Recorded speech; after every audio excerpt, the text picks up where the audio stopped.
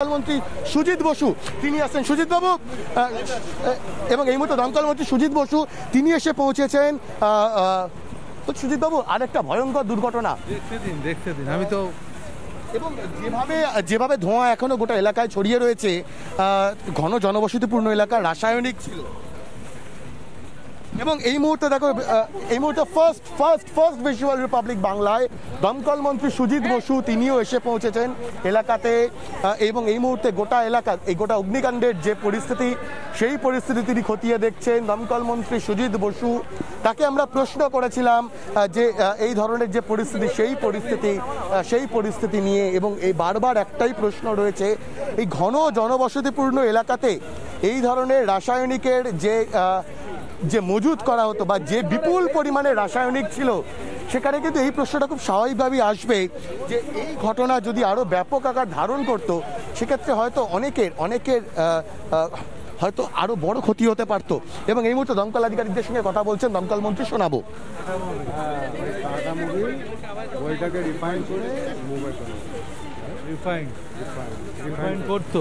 এদের কোনো লাইসেন্স আছে?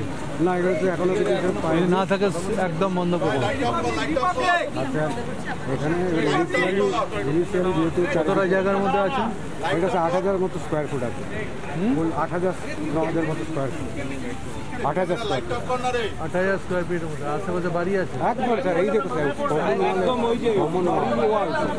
আপনি এদিকেও আছে তো আমরা স্যার বলে দিচ্ছি।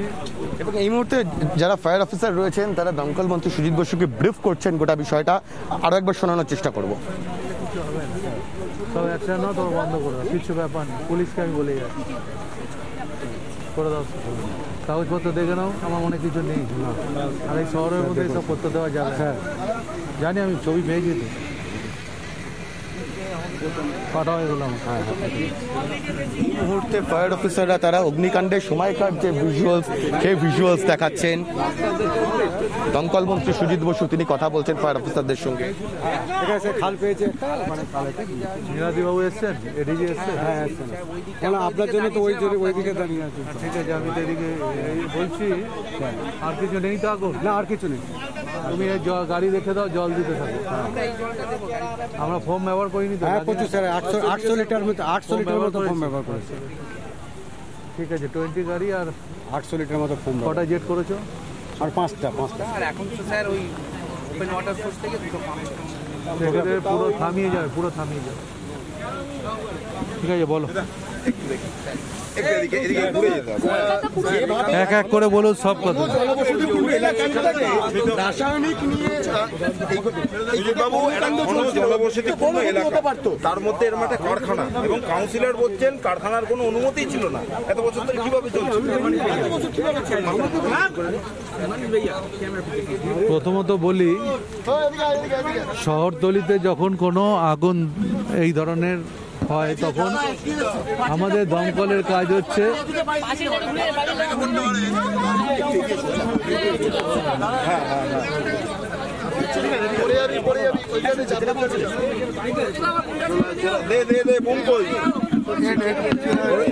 আপনারা ফাঁকা দাঁড়ান না আপনারা একটু ফাঁকা দাঁড়ান না শহরতলিতে বিশেষ করে যখন ঘিঞ্জি আরে বলতে দাও ভাই। বলে শহরতলি বিশেষ করে সমস্ত ঘিঞ্জি এলাকায় যখন কোনো আগুন ঘটনা ঘটে, সে কারখানা হোক কি অন্য জায়গায় হোক, আমাদের ফায়ার ব্রিগেডের লোকেরা খুব তৎপরতার সাথে সেই দক্ষতার সাথে সেই আগুনটা নেভায়। এবং শুধু আগুন নেভায় না, তারা জীবন বাজি রেখে তারা কাজ করে। আজকেও তাই হয়েছে, যখন ঘটনাটা হয়েছে, আমার কাছে যখন কন্ট্রোল থেকে খবর এলো আমরা সঙ্গে সঙ্গে আমাদের সিনিয়র অফিসার যত আছে, ডিজি শুধু বাইরে আছে, একটা মিটিংয়ে আছে বলে সবাইকে আমরা পাঠিয়ে দিয়েছি। এবং খুব দ্রুততার সাথে কুড়িটা ইঞ্জিন এবং কুড়িটা ইঞ্জিনের সাথে সাথে আমাদের ফোম কত ফোম আমাদের ব্যবহার হয়েছে এখানে আটশো লিটার ফোম ব্যবহার হয়েছে, পোর্টেবল পাম্প ব্যবহার হয়েছে, আমরা আগুন কন্ট্রোল করে ফেলেছি, আর কিছুক্ষণ লাগবে কুলিং প্রসেস চলছে।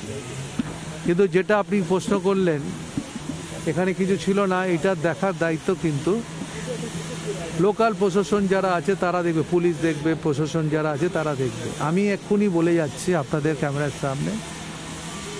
আমরা প্রাথমিক যা এনকোয়ারি করেছি এখনও পর্যন্ত শুনেছি, এটা একটা মোবিল, কাটা মোবিল যেগুলোকে সেটা প্রসেস করতে এখান থেকে, সেখান থেকে আগুনটা হয়েছে এবং আশেপাশে বসতি আছে।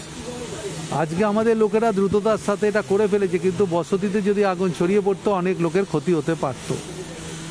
আমি এখনই বলে গেলাম আমার সিনিয়র অফিসারদের ইমিডিয়েট এনকোয়ারি করে চব্বিশ ঘণ্টার মধ্যে। যদি দেখা যায়, এমনি তো ফরেন্সিক হবে, সেগুলো পুলিশ করবে ফরেন্সিক যদি দেখা যায় কোনো কাগজপত্র কিছু নেই, আমি বলব ইমিডিয়েটই এগুলো বন্ধ করে দেওয়ার জন্য। তার কারণ, আমরা চাই না সাত আটটা কি চার পাঁচটা লোকের জন্যে এলাকা পুরো লোকেরা ক্ষতিগ্রস্ত হোক, লোক মারা যাক, আমরা এটা চাই না তখন আমরা শুধু এক্ষেত্রে না, বিভিন্ন জায়গায় এনক্রোচমেন্ট যে সমস্ত হচ্ছে। আমি নিজে একটা সার্ভে করছিলাম, বিশেষ করে বিধাননগরে একটা সার্ভে করছিলাম। নবদিগন্ত ইন্ডাস্ট্রিয়াল সেখানেও খুব বড় বড় বাড়ি আছে। আমি সেখানেও দেখছিলাম যে নশো সত্তরটা যে হকার ওখানে আছে, রেকর্ডেড হকার, সেই হকারের মধ্যেও দেখছি তিনশো পঞ্চাশ জনের মতো অঞ্চলের লোকেরা যারা পনেরো কুড়ি বছর ধরে ব্যবসা করে। বাদবাকি লোক সব আশপাশের জেলার বিভিন্ন প্রান্ত থেকে তারা এসে করে। আমি গরিব লোকের পক্ষে সহানুভূতি আছে, কিন্তু গরিব লোকের মানে যদি কেউ মনে করে যে যেখানে বেশি বসে এইসব কাজ করবে এবং তার জন্য দায়িত্ব আমাদের ওপর আসবে, আমি এটা মনে করি না। আমি পুলিশকে বলেছি, ভালো করে দেখুন সব পুলিশকে আমি বিধাননগরকেও বলেছি, এখানেও কলকাতা পুলিশকে বলছি, আপনারা ভালো করে দেখুন। আমরা তো বন্ধ করতে চাই, কিন্তু আমরা অনেক সময় রুটি রুজির জন্য অনেকের অন্ন আমরা নষ্ট করতে চাই না।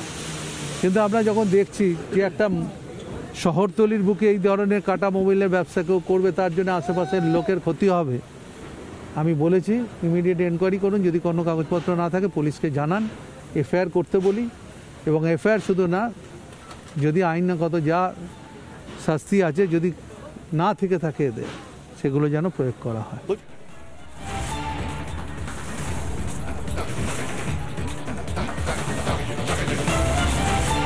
আমরা শুনছিলাম এই মাঠ পুকুরে যেখানে কারখানায় আগুন লেগে গিয়েছে, সেখানে দমকল মন্ত্রী সুজিত বসু এসেছেন এবং তিনি বলছিলেন যে কি করে জনবসতিপূর্ণ এলাকায় এরকম কাটা মোবিলের গোডাউন এবং কারখানা চলতে পারে, সেই নিয়ে প্রশ্ন করলেন তিনি নিজেও।